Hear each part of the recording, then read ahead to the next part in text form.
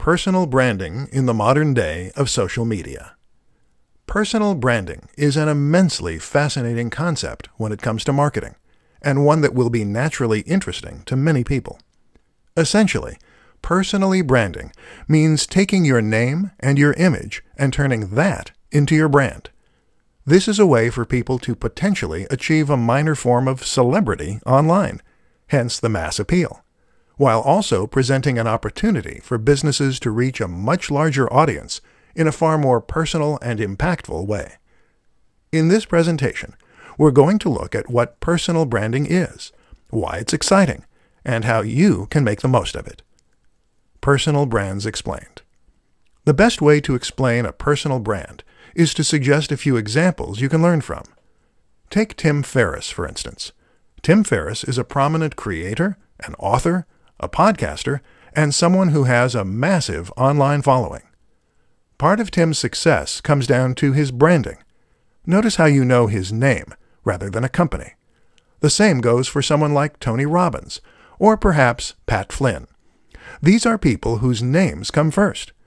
Elliott Hulse or the Hodge twins are similar examples, as are many more YouTube personalities.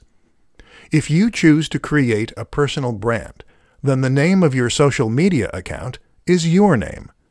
The things you post are clips from your life, and the business name takes a back seat. Why it works. There are many reasons that personal branding works well, and particularly when combined with social media. For starters, a personal brand makes your website and business feel much more personal, and it makes people feel as though they know you and can relate to you. That means they'll feel as though they can trust you, and in turn, that means they'll be willing to buy from you. Another reason it works is because people love living vicariously. People love getting an insight into the lives of others, and this way, your social media will become much more interesting and addictive to follow. Finally, though, using yourself as your brand allows you to sell the value proposition. A value proposition drives most successful products.